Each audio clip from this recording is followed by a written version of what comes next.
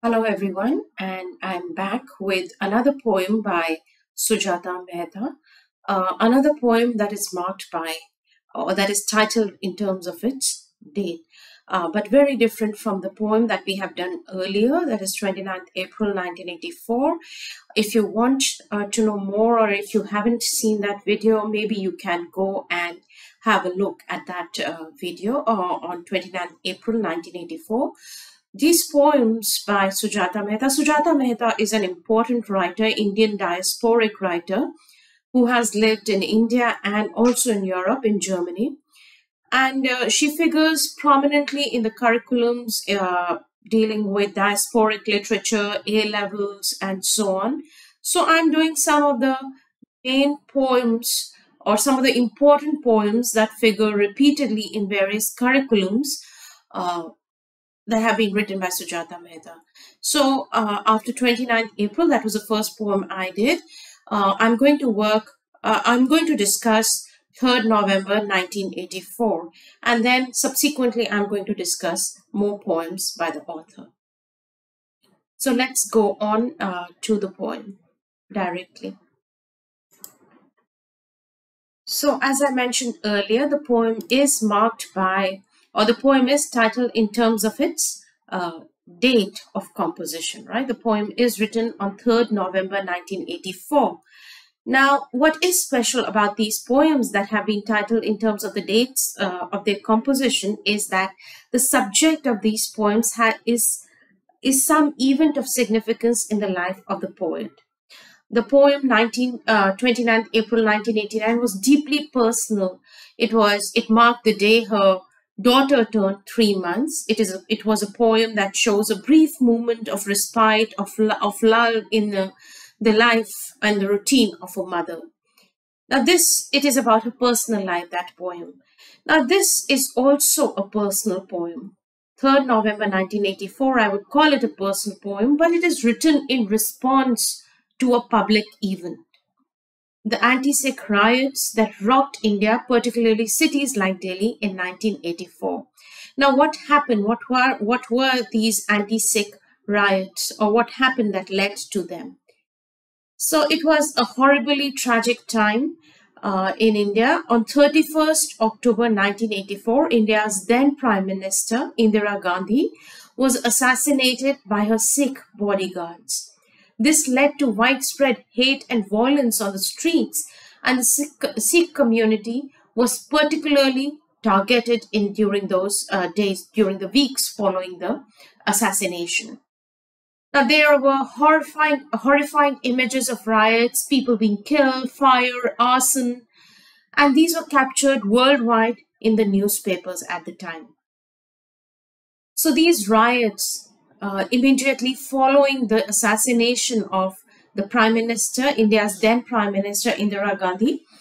These, the poem, that is the context of this poem. It is, po it is the poet's response to the event. A response that is drawn out from her own emotions, from her memories. It is a poem that is, and it is a poem that is not supposed to be, right? It was, it is a poem that is that she did not want to write. And we as we go on you will you know she keeps on saying that she does not want to write this poem. It ends up but she ends up doing it. She ends up writing this poem. So why does it why does she do that? Why does this happen?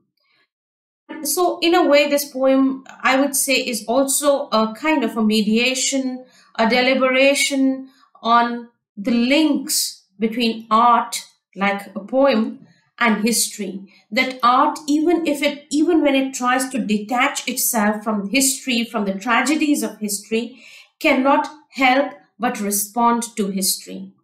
The poet however much she tries she cannot image she cannot escape the images in the newspaper and these images evoke and intermingle with the images of her past.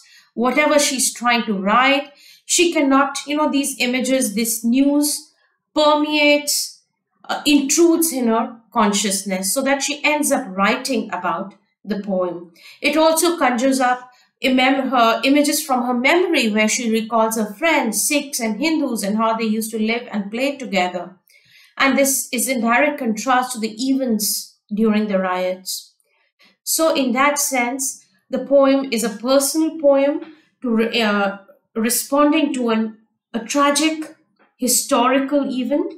It is also a mediation on the relationship between art and history, where art, even if it tries to detach itself, even if it tries to escape the tragedies of history, even in its denial, it is a response to history. Okay, so we can move with the poem as you can see. Uh, okay, uh, just give me, I think I need to rearrange this so that you can see the whole, whole poem, which I will do in a minute. But just to give you an idea of the structure of the poem before we begin, it is a free verse poem. We do not really see any rhyme or rhythm patterns. The lines are uneven. So it is a free verse poem written in irregular five stanzas. So the five stanzas here, one, two, three, four, five. So five stanzas, irregular, free verse. The tone is very conversational and personal, right? Notice the use of I. So it is it is a poem poet talking directly to the uh, reader. So conversational and personal style. So I hope you can see the poem, the entire uh, poem now. So let's start with the poem. I won't buy the New York Times today. I can't. I'm sorry. But when I walk into the bookstore, I can't help reading the front page and I stare at the photographs of dead men and women I know I've seen alive. So it begins with a negative, I won't buy. It begins with an assertion that she would not buy the New York Times, the newspaper today. It begins with a denial, a rejection of the events. And she says in this short sentence marked with a caesura here, I can't, I'm sorry, it's like she apologizing. She's apologizing from turning away. She she's she's it's it's you know as an aware citizen it is her responsibility as a poet as a public figure it is her responsibility to be aware to uh, respond to the event. And she's apologizing. She she because maybe she thinks she would be blamed for being escapist for lacking sympathy. But she says she apologizes right at the start she expresses her inability, right? Her inability. I can't. I'm sorry. It is beyond her. It is beyond her sphere of capabilities. You know, she is, she cannot buy it. She cannot read. She's sorry right at the start. The present tense, notice the use of present tense, which gives a sense of urgency. So she says she won't buy the newspaper, but there is a turn here in the paragraph, uh, in the stanza, but when I walk into the bookstore, I can't help reading the front page. So she cannot escape. The news is everywhere. She can't help but see the images. And these images hold her in a thrall, right? Uh, they hold her captive. I can't help reading the front page and I stare at the photographs. So she does not, she cannot turn once she, the images are there. She cannot turn her eyes away. I stare at the photographs. She has to stand and stare. So she cannot escape them. They hold her captive. Also notice the use of enjambment in these lines. Uh, uh, not, but when I walk into the bookstore, I can't help reading the front page and I stare at the photographs of the dead men and women I know I have seen alive. The enjambment, the line continues through, uh, the sentence continues through uh, these six, uh, five lines, right? Uh, it is, enjambment is, is a very, it is a very good way. It signifies disruption of the line, disruption of the, but I don't want to look, but I have to look, you know, these abrupt thoughts. So she don't doesn't want to, but at the same time, she can't help it. So it is that disruption and continuity of thought or of action. It almost mirrors the state of the author. So, in the, the poetic technique of enjambment mirrors the state of the author who tries to deny, who tries to turn away, but continues to stare at the pictures. Right? So, as of dead men and women, I know I have seen alive. So she says, I know in the insistence that she has seen them alive. Is it the same men and women? Maybe not really the same people, but these are the people that she has grown up with. they remind her of the people that she has grown up with. So I know I've seen them alive in the sense it's not literal that the newspapers carry the, uh, the images of men or women she has seen live, but more so like she has grown up with the same people living together. So again, coming back to the next uh, stanza, the, the denial continues, the rejection continues. And today, of urgency here and now. Today, I don't want to think of Hindus cutting open Sikhs and Sikhs cutting open Hindus and Hindus cutting open and the line does not end. There is no full stop. It's like a cycle of violence that has been unleashed on the, in, the, in the streets of uh, Delhi of India at that time in 1984. So uh, Hindus attacking Sikhs and Sikhs responding and attacking Hindus and Hindus in turn responding. So it's like a cycle of violence uh, that the riot is. And she doesn't want to think about. But the repetition shows this repetition. You know, Hindus cutting open Sikhs and Sikhs cutting open Hindus and Hindus cutting. This repetition shows that she ends up thinking about it. She just ends up thinking about the same thing that she has been trying to deny. Just like she could not escape the pictures in the outside world, she cannot escape her thoughts, her memories. Uh, these are, as she says, these are the people I have seen alive. These are the people she has from childhood, not literally the same people, but she has lived in these communities. She doesn't want to uh, think about them, but she does think about them. Today, I don't want to think of Amrit and Arun and Gunwant Singh nor of Faguni and Kalyan. So these are the people, these are maybe the friends uh, from her childhood, uh, from different communities. The names show that they are from different communities, Hindus and Sikhs, uh, different religions. She doesn't want to think about the way they were together at that time, the way they were together in the past, and the way they have turned on themselves against each other. They have turned into enemies in the present. She doesn't want to think about the past because the past would remind her of the present, the way the tragedy of the present, where the friends who used to be friends have turned into enemies now. And she doesn't want to think about the present because the present is so tragic and so horrifying.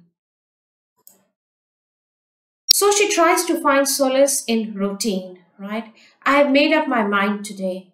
Today, I have made up my mind. Today, I'll write. In peacock greenish sea green ink, I'll write. Poems about everything else. I'll think of the five Americans who made it to Annapurna without Sherpa help. I won't think of him. I'll get my homework done. So here she tries to find solace in routine, in work, and this is the first time where it is an affirmative rather than a negative that was there, that, that uh, you know, that was emphasized in the first three paragraphs. Here it is an affirmative. I will do. Today I will write. She will escape, right? She will escape and search for inspiration for her poetry, for her, for her art elsewhere. So she says she would talk about other events like five American women who climbed Annapurna. Annapurna is a mountain, the 10th highest peak in Nepal.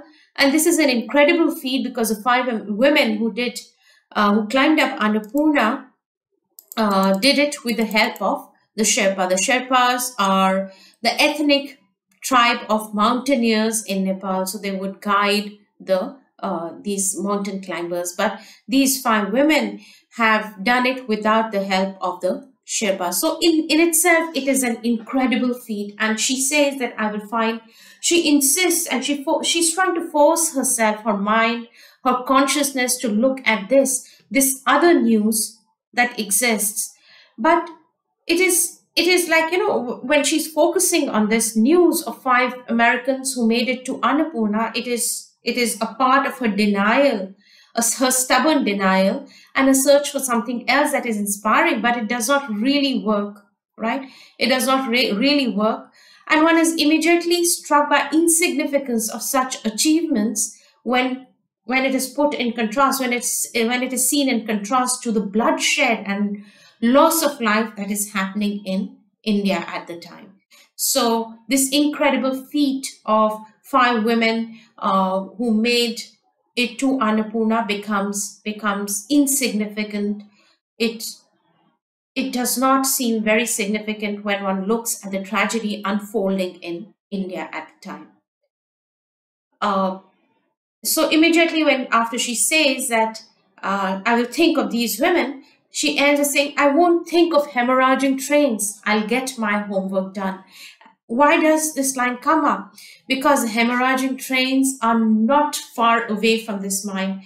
This focus on, she's forcing, she's suppressing uh, thinking about the present. She's suppressing the trauma of the present.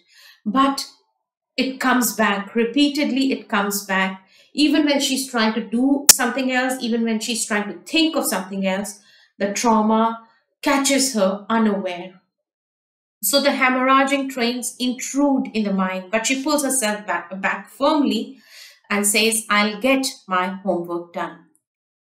So notice also the, the alliteration here, peacock green, greenish, sea green, you know, the way, the minutely, the way she's describing the ink in detail as if she's trying to forcefully uh, put herself, immerse herself in the present, in the task at hand.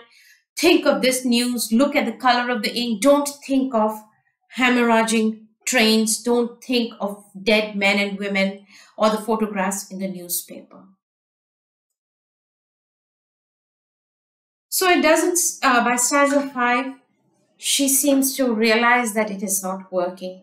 Now, instead of completing this poem, which poem is this? This poem about five American women who made it to Annapurna without Sherpa help. So instead of completing this poem about five Americans, I'm drawing Imli fronds. Now, Imli is tamarind, right? Tamarind fronds. So I'm drawing Imli fronds all over this page and thinking of Amrit when we were six.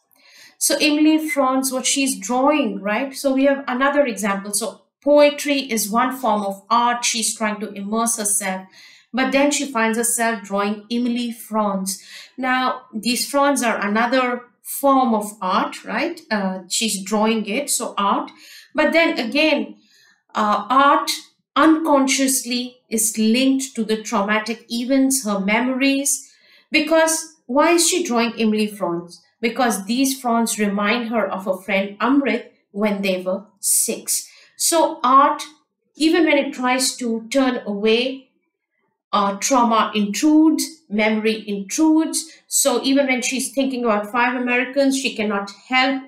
Uh, she tries to push away the images, but even when she's saying that I won't think of hemorrhaging trains, but the way she's describing the trains so evocatively, hemorrhaging trains.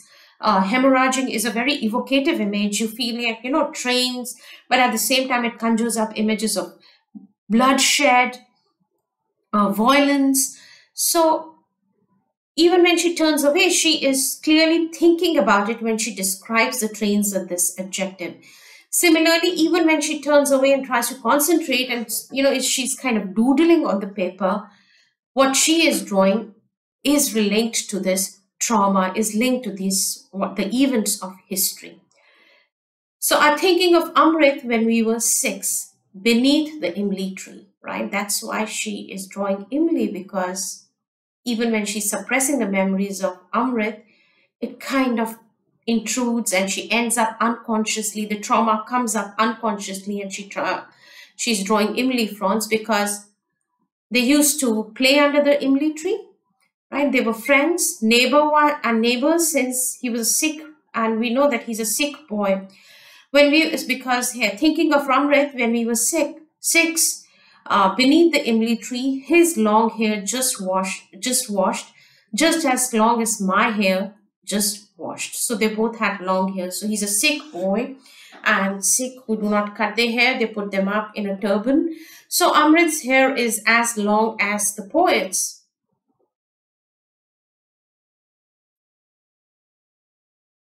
Amrit's hair is as long as a poet's, and the Mothers in the mornings after washing their long hair would send the children out to play together and to dry their hair in the sun. So she remembers a time when both of them would play together under the Imli tree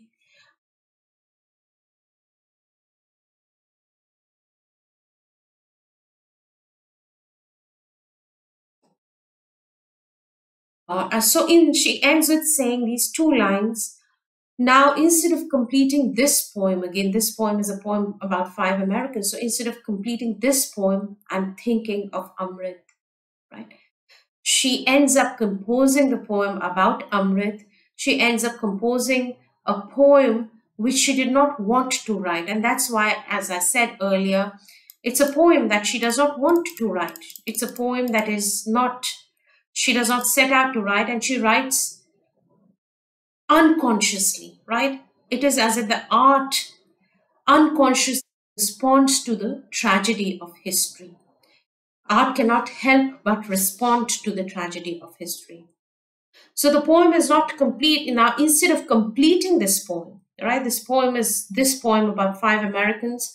Is it's not a complete poem. She's trying. She's given up trying to compose that poem I'm thinking of Amrit, right? This poem, 9th, 3rd November 1984, is actually a thought, right?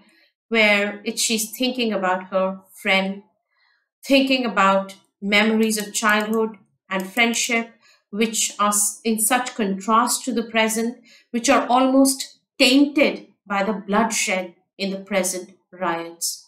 Maybe she's brooding over what happened to him Maybe she, she's thinking about how the two communities whose life were tied so intricately together, uh, to get intricately uh, together, can now have now turned against each other. Maybe she's trying to make sense and work out how did such events come to pass. Maybe she's looking for some answers in her childhood.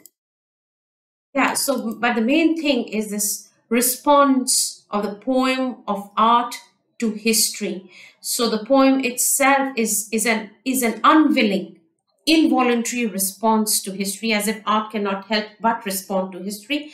But within the poem, we also see when she's drawing Imli fronds, she did not set out to draw them. She's almost drawing them unconsciously. And these, these, these doodles on the page are actually linked to her unconscious, suppressed thoughts that are again responding to the present.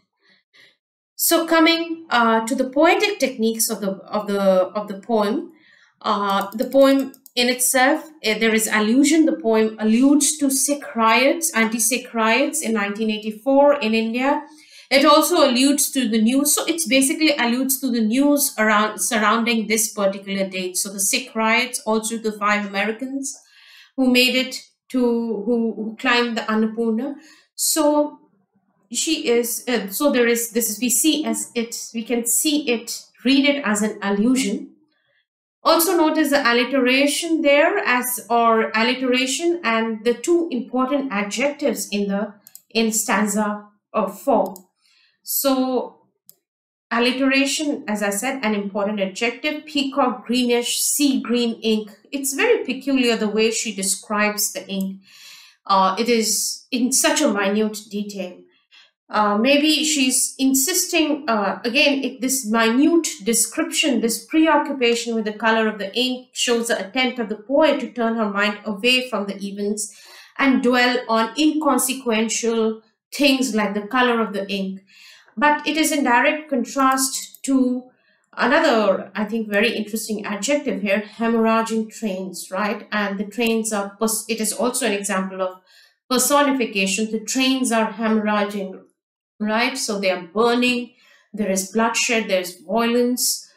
Uh, so the trains in themselves, the hemorrhaging trains become a symbol of riots and somehow it, these two adjectives in stanza 4 stand in contrast to each other. The beauty of the uh, ink and the horror and the color also. I think hemorrhaging trains remind me of this red-brown color of blood. So the beauty there and the horror in the second, uh, this personification and objective thing. So I think that's, uh, the poem is, as I said, it is about how art, even if the artist doesn't want it, is tied to history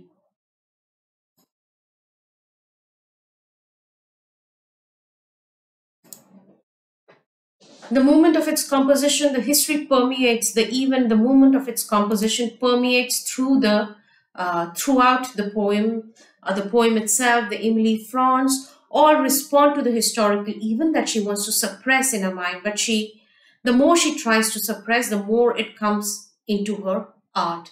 So memory and emotions are arising out of everyday things like newspaper reports, which are very impersonal, but they become personalized in art, right? So that is important thing that art cannot first, art cannot help but respond to the events, but art also personalizes impersonal events like, you know, the riots happening. She is in America at the time, right? So she, the riot and the riots are happening in India. There's a vast distance, geographical distance. But then with thoughts, with memories, and with, with emotions, something that is happening on the other side of the world becomes deeply personal. So the poem also, art also personalizes history.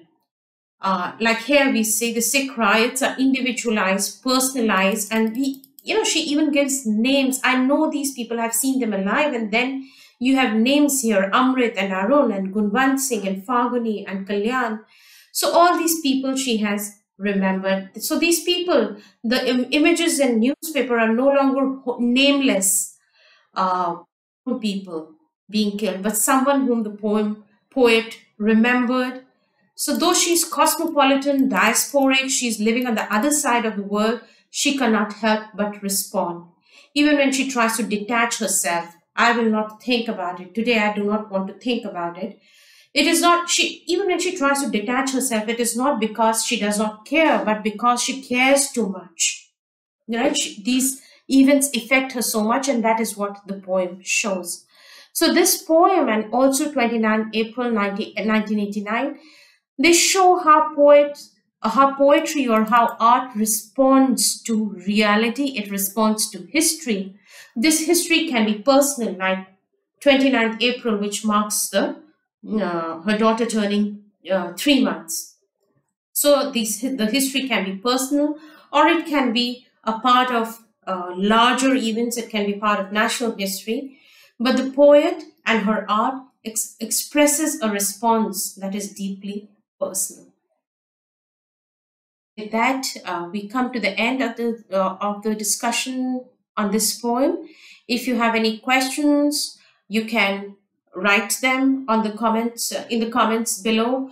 Uh, if you want any specific poem to be discussed, you can let me know. I would go on discussing more such poems, which I find them in which I find in curriculum. But if there is a specific specific poem by Sujata Bhatt that you want me to discuss, I would be happy to do that. I would also be beginning uh, soon. I would be start beginning a session or a series of sessions on Jhumpa Lahiri's the namesake. Uh, please keep a please keep an eye on the channel and see you soon. Bye bye.